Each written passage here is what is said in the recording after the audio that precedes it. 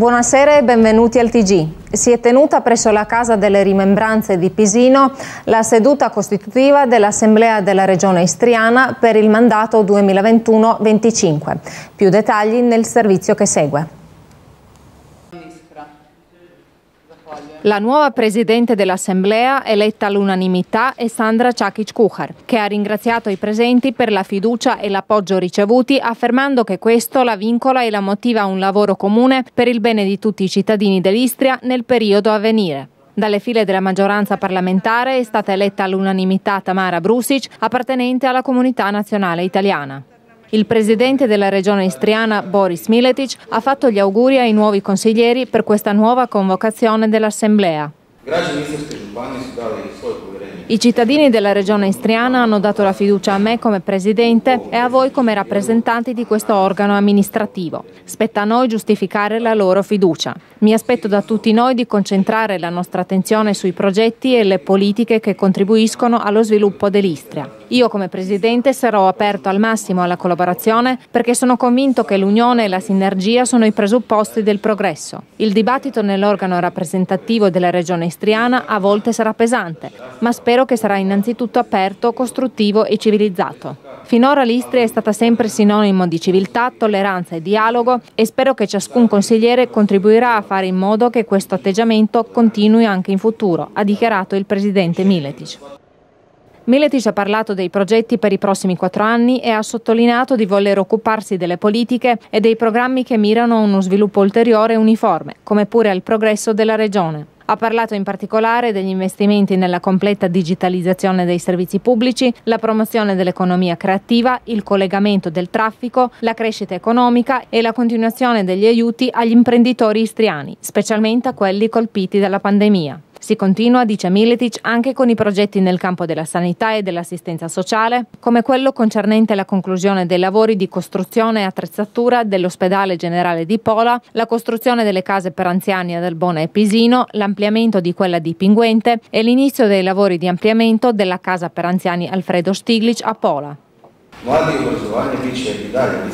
giovani e l'istruzione continueranno ad essere in cima alla lista delle priorità della Regione, sia che si tratti di investimenti nell'infrastruttura dell'istruzione, sia dell'introduzione delle lezioni monoturno, del rafforzamento dell'Università Istriana di Scienze Applicate o l'istituzione del Fondo per l'assegnazione di borse di studio agli alunni e studenti talentuosi. Infine c'è la realizzazione di progetti nel campo della cultura, come il rinnovo del castello a Pola, il rafforzamento della produzione culturale e del progetto dello studio della storia e della cultura del territorio, ha dichiarato Miletic, affermando che l'accento sarà posto sulle soluzioni innovative e sostenibili, il rafforzamento della struttura del traffico e i progetti di efficacia energetica e tutela ambientale. Questi sono solo alcuni dei progetti che innalzeranno il tenore di vita in Istria, ma ce ne saranno ancora parecchi, ha detto Miletic, sperando nel supporto di tutti i consiglieri per poter realizzare tutti i progetti e per rafforzare i valori e l'identità istriana, ha concluso il Presidente.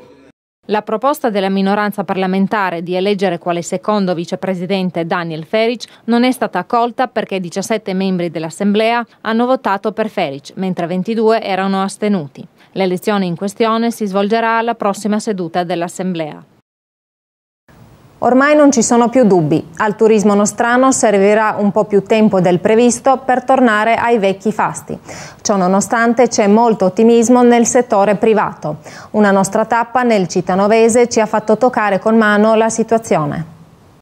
Dopo il 20 di giugno le porte del solstizio d'estate e di quella che conosciamo come la giornata più lunga dell'anno, gli ospiti in regione erano circa 100.000, un po' pochi a dire il vero. Nelle altre parti della Croazia gli operatori turistici non potevano certo gioire, Dalmazia compresa, dato che il grosso del turismo nazionale era situato nell'Alto Adriatico. Una nostra tappa non lontano da Cittànova ci ha fatto toccare con mano la situazione, come ad esempio presso il centro acquatico Istralandia, dove a dire il vero si dicono soddisfatti. I risultati sono quelli delle aspettative ed è stato bello vedere durante l'orario d'apertura frotte di vacanzieri intenti a godersi i contenuti del parco, molti dei quali erano turisti nazionali. Questo che è il secondo parco acquatico per valenza in Europa, nonché il quinto al mondo, ha aperto i battenti puntualmente alle 10 del mattino. Il 2020 era, era specifico, lo sappiamo tutti per, per, via del Covid, però speriamo siamo sicuri che questa stagione 2021 sarà molto molto ma molto più, più pr prosperosa del, del 2020. E speriamo il 70%, questa è una, una, nostra, una nostra, idea della, della stagione di quest'anno. La nostra previsione? Della nostra previsione di quest'anno. Ecco, siamo ormai a fine giugno, come funzionano le cose? E siamo aperti uh, appena da sette giorni, diciamo che per adesso uh, siamo su 40% uh, in, se compariamo col 2019. Non lontano, nella bella città nuova, l'atmosfera durante il solstizio d'estate era un po' addormentata. Le strade non erano per niente affollate, mentre gli alberghi privati erano meno pieni del previsto. Ciononostante le riservazioni non mancano. Diciamo che, come nel resto della regione, l'estate, anche se non in fatto di temperature, sul fronte del tornaconto per la locale economia tarda un pochino. Siamo ancora lontani dall'anno rivelazione, quello che doveva essere il 2021. Naturalmente i vaccini fanno la loro bella parte, ma c'è da dire una, un'amara cosa. La gente purtroppo ha ancora paura di viaggiare, almeno così sembra. No, nessuna rivelazione, è un anno strano, la gente ancora sempre ha paura, non sono sicuri dove andare. Questi che vengono, almeno qui da noi, sono quelli che eh, vengono sempre, sanno dove vanno, cosa incontrano, eh, che gente c'è. Allora questi vengono e si vede che hanno voglia, un po' guardano da parte, ma dopo quando vedono noi che siamo molto rilassati, eh, siamo vaccinati, io tutti dico, dico, che tutto il personale è vaccinato, allora vedo che si, che si rilassano e stanno bene. Stanno pochi giorni, due, tre e poi tornano a casa. La nostra intervistata ha anche steso un velo positivo sulla stagione 2020 dicendo che non è stato un anno malvagio. C'è da dire anche che l'occupazione è rimasta stabile, il che di questi tempi vuole indubbiamente dire molto. Beh, dobbiamo essere sinceri che non era, non era, facile, non era facile per neanche una ditta, uh, però il vero è che non abbiamo licenziato neanche un dipendente tutte, tutte, le paghe sono rimaste uguali, uguali al 2019 durante tutto il 2020 e anche in quest'anno allora, tutti i dipendenti sempre uguali, sempre stessi, con stesse paghe e andiamo avanti così, speriamo il meglio. No?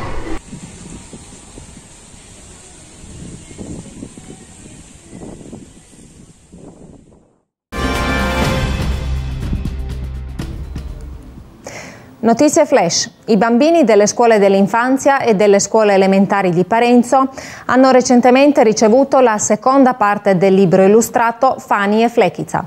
Il libro ha uno scopo educativo e grazie ad esso i bambini imparano ad acquisire sane abitudini e come tutelare l'ambiente. Il libro è stampato in croato e italiano. Sul tetto del palazzetto dello sport di Cittanova si è svolto il campionato di salto sul piccolo trampolino. La competizione è stata organizzata dal club di ginnastica di Cittanova. Tutti i partecipanti hanno ricevuto un diploma, mentre i tre primi, classificati hanno ricevuto anche le medaglie. La sesta edizione del torneo Bambino Cup 2021 per giovani calciatori in tre categorie di età si è svolta lo scorso fine settimana a Dignano. Al torneo hanno partecipato 14 squadre e sono state giocate più di 30 partite. Il torneo si è svolto in un clima sportivo molto positivo all'insegna della socializzazione tra i giovani.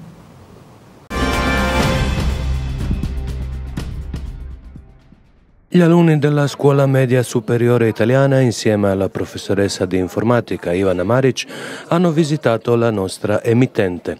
Un'introduzione a come vengono preparate e prodotte le trasmissioni in lingua italiana di TV Nova ha offerto agli alunni la nostra Isabel. Oltre alla teoria, le aspiranti giornaliste hanno avuto l'opportunità di mettersi nei panni delle conduttrici, leggendo gli annunci e le notizie del telegiornale. A Cittanova sono in corso i lavori per la realizzazione dei, dei marciapiedi. E... Dopo aver visto come ci si comporta nello studio, cosa succede in regia e nella redazione, le alunne hanno presentato a noi e ai nostri telespettatori il loro lavoro. Allora, noi abbiamo scelto il tema del Covid-19 e anche più in particolare, in particolare come esso ha influito di noi e anche la scuola perché abbiamo voluto commemorare tutto quello che è successo, perché questi ultimi due anni sono stati molto particolari tra quindi lockdown, uh, misure epidemiologiche altre cose. E quindi eh, abbiamo pensato che sarebbe stato molto interessante, interessante, creare un video che ci aiuti a ricordare anche a distanza di anni quello che è successo. E comunque in, questo, in questi ultimi anni eh, ci, ci, sono stati particolarmente eh, aspetti negativi, quindi le gite che non abbiamo potuto fare, quindi non potevamo muoverci liberamente per la scuola e poi anche non potevamo eh, avere un contatto diretto sia con i nostri compagni ma anche con i professori. E questo ci è mancato molto anche se comunque all'inizio pensavamo che non sarebbe stato così, però poi ci siamo resi conto grazie, grazie a tutto quello che è successo quanto sono importanti queste, queste piccole cose che prima anche davamo per scontate. E quindi questa sarebbe la cosa che eh, forse è l'aspetto più positivo di tutto quello che è successo. E quindi eh, il nostro obiettivo principale quando creavamo questo video era di aiutarci a ricordare quello, quello che abbiamo imparato. E quindi abbiamo così eh, strutturato il nostro video, quindi un bambino nel futuro che guarda il video. Eh, per accentuare che anche a distanza di anni quando tutto questo sarà passato non dovremo dimenticare gli insegnamenti che che ci ha dato tutto questo e anche eh, potremo tramandare quello che abbiamo imparato alle generazioni successive. Il processo era molto divertente, interessante, eh, però era anche molto impegnativo. Ci è servito un totale di tre settimane per completare il nostro progetto è cominciato tutto con uno schema generale degli argomenti eh, che volevamo trattare, così ci è venuta anche l'idea di fare le interviste ai professori, eh, anche agli alunni e anche a certi nostri parenti. Poi ci siamo trovate più volte per scrivere un copione che poi ci è venuto otto pagine di testo dove parlavamo eh, della nostra esperienza eh, con il coronavirus e dell'impatto sulla scuola. Abbiamo scritto le domande per le interviste, poi le abbiamo anche registrate, era molto semplice registrarle perché tutti i partecipanti erano molto collaborativi. La registrazione delle nostre parti era più complicata perché ci dovevamo svegliare spesso a buon'ora, arrivare a scuola quando non c'era nessuno per firmare. Uh, alla fine delle due settimane uh, il video era pronto per il montaggio. Ho montato il video con un programma chiamato DaVinci Resolve. Era un pro programma complicato che però con l'aiuto della professoressa e con vari tutorial su YouTube uh, ho imparato ad usare. Ho tagliato i video, ho trovato il posto dove eh, dovevo mettere le interviste. Quanto è importante l'informatica per gli alunni ci spiega Denise. La scuola a noi ci permette di utilizzare nuovi dispositivi per lavorare durante le ore eh, di informatica che sono molto ben organizzate, studiamo dei nuovi media, utilizziamo software nuovi e moderni del XXI secolo eh, come ad esempio Canva e Presi, anzi Ultimamente abbiamo creato tantissimi lavori eh, utilizzando questi software, giornalini, volantini di vario genere, Uh, abbiamo imparato anche a creare da soli pagine web, abbiamo creato pagine eh, web online uh, utilizzando WordPress, Wix. Uh, inoltre per quanto riguarda il capitolo della multimedia, qui con l'aiuto della nostra professoressa abbiamo creato tantissimi video e abbiamo imparato anche tantissime cose a riguardo, come creare appunto video, come aggiungere l'audio, tagliare, montare vari video. Ecco, devo dire che quest'anno scolastico è stato per tutti noi abbastanza difficile, però mh, con tanto impegno, serietà verso il lavoro abbiamo ottenuto ottimi risultati. Uh, non voglio dire tutto andrà bene perché uh, mi dà i nervi questa, questa frase. Studia.